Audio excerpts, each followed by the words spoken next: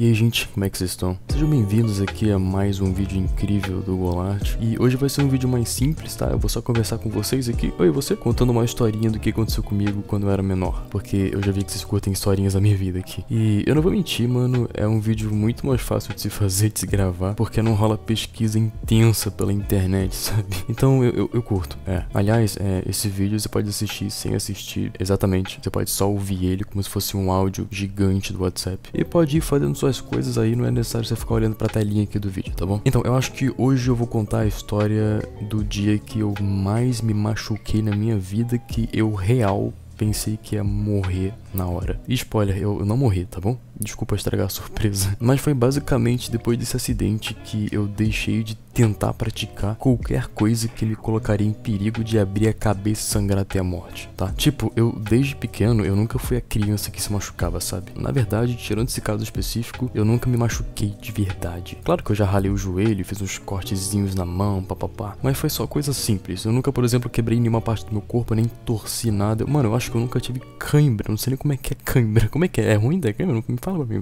E isso era só porque eu não curtia muito esporte em geral, que era onde o pessoal mais se machucava em esporte, né? Tipo, futebol, mano, eu nunca gostei, pelo que eu lembro. Eu acho idiota 20 pessoas correndo atrás de uma bola. Eu já tive um amigo que desmaiou porque ele era goleiro e chutaram a bola na cabeça dele. Assim, ele levou uma bolada e caiu no chão duro, mano. Mas pelo menos ele defendeu o gol. GG. Boa, mano. Você morreu, mas você não, não passou o ponto. Mas, tipo, eu basicamente evitava qualquer coisa que tinha mais chance de eu me machucar do que eu me divertir. Entende? Eu, pensava assim, eu te fazia falava, hum, não, não vale a pena.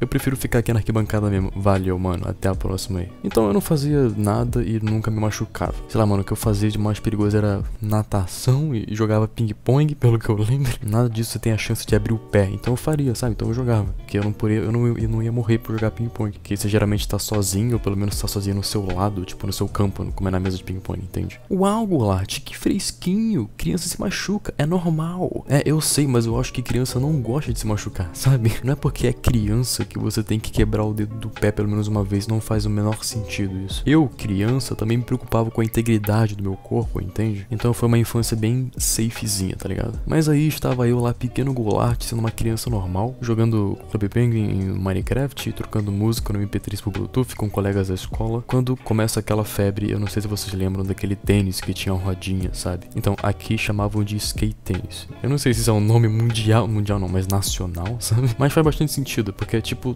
tem umas rodinhas de skate, então. Mas é um tênis. Olha que mágico, skate tênis, uau. É tipo sacolé, que é um picolé, só que no saco. Não existe outro. Não é nada de chup-chup. Não, mano, não faz nem sentido chup-chup, é sacolé. Enfim, e virou uma febre. Todo mundo tinha a bosta do skate tênis. O pessoal andando no shopping com skate tênis. Na rua com skate tênis. Na parede com skate tênis. Você tem uma noção, mano? Tiveram até que proibir o skate tênis na minha escola.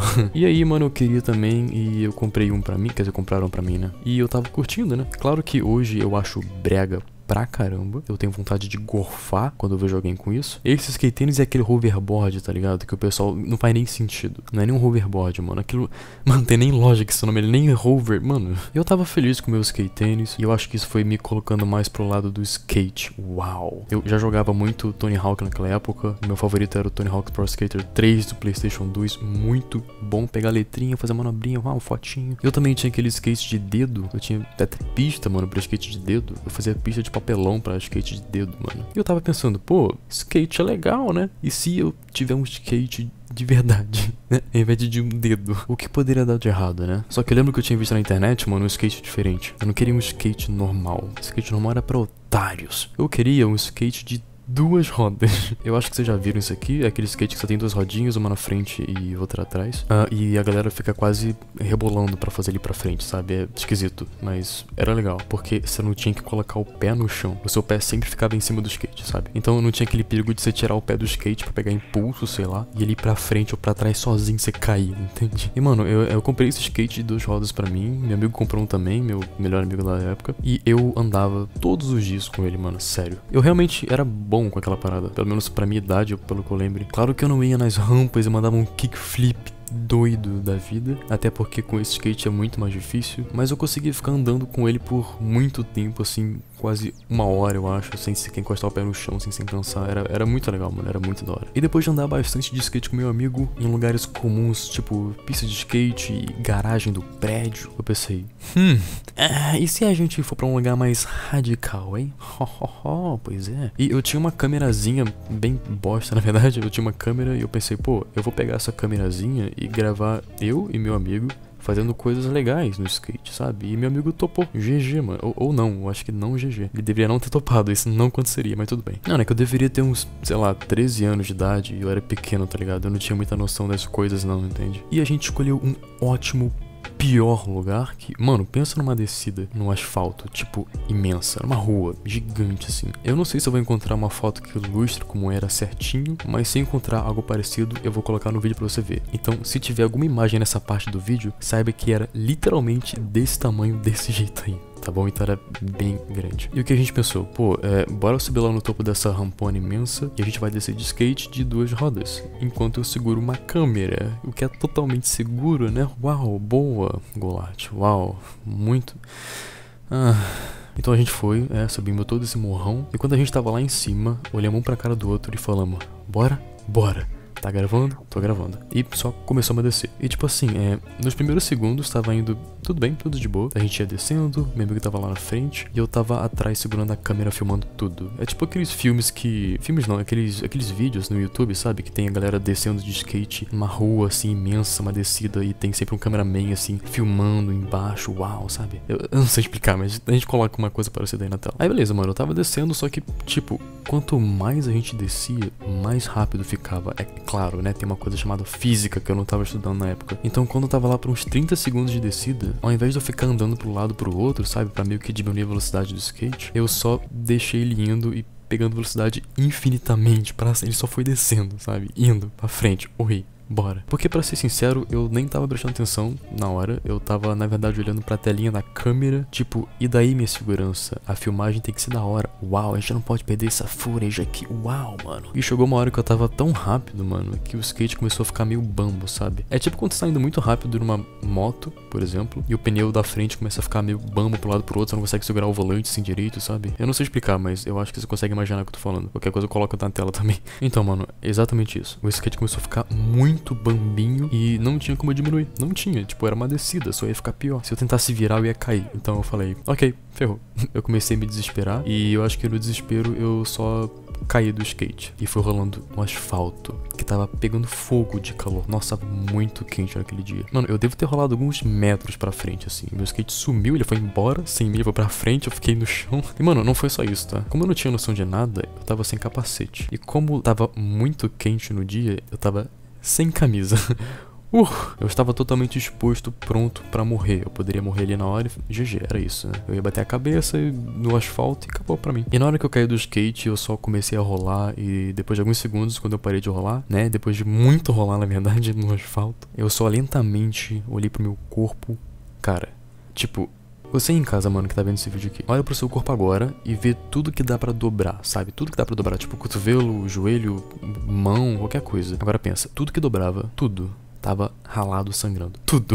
Até coisa que não dobrava, mas tipo, tudo que dobrava tava sangrando. Mano, até cada dedo da mão tava ralado. Cada dedinho onde dobrava, bem na, na, no lugar que dobrava. E para ser sincero, na hora eu não senti nada. Eu não sei se foi por causa da adrenalina do momento lá, ou se era porque tava quente pra caramba no asfalto e calor em geral, sabe? Mas eu, para ser sincero, eu nem senti dor na hora. É claro que eu acho que eu comecei a chorar, mas eu acho que foi mais pelo susto que eu levei. E quando eu olhei pro meu corpo, tava tudo ralado. Eu falei, mano, eu vou morrer. É, acabou. É de ficar girando, batendo a cabeça no corpo no asfalto. Ah, Golart, então foi tudo de boa, né, mano? Você nem quebrou nada, só ralou seu corpo. Mano, não, você não tem noção, cara. Eu ralei tudo, tudo, tudo, tudo. Eu tava ali tudo. Eu tava sem camisa, mano. As costas, o peito, tipo, literalmente tudo. Depois que eu olhei, começou a ficar tudo vermelho tudo. E é claro que a gente foi para casa, eu e meu amigo, porque eu tinha que entrar no chuveiro para tomar banho, né? E tirar toda a sujeira de chão de asfalto que tava dentro da minha pele, porque senão eu ia infeccionar e morrer. E eu lembro que eu tava até com vergonha, porque meu amigo tava lá em casa comigo, ele tinha ido comigo, né? E minha mãe tinha pedido pra eu tirar a roupa e ficar de cueca para tomar banho. E pô, eu, eu não queria ficar de cueca na frente do meu amigo, mano. Meu Deus, mãe, por que, que você fez isso? essa humilhação?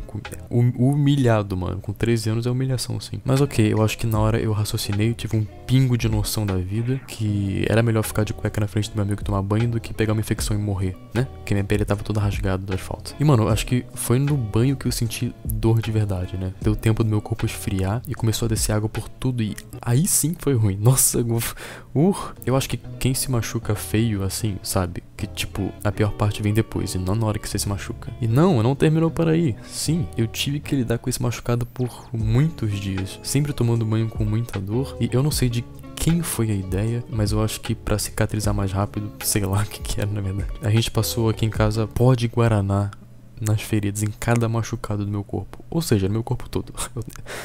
Até hoje eu não sei porquê, mano. Eu não sei se influenciou na cicatrização ou não. Mas eu só sei que era uma bosta passar, porque eu ficava todo laranja. Tipo, era literalmente pó de guaraná laranja, parecia argila que eu passava no meu corpo todo. E, e, coçava muito. E eu só poderia suportar, porque se eu tentasse coçar, eu ia abrir os ferimentos, ia começar a sangrar e foi tudo uma bosta, cara. Eu lembro que eu não queria nem sair na rua direito, porque eu tava todo machucado e rasgado nos braços e perna e tudo. Então eu tinha um pouco de vergonha, sabe? Imagina você tá andando de carro e você bate, sei lá, seu, você, você estraga todo o seu carro. Meio que você fica com um pouquinho de vergonha de andar com o carro todo quebrado, batido na rua, porque o pessoal fica todo te olhando. Mano, aquele cara está todo ferrado, né?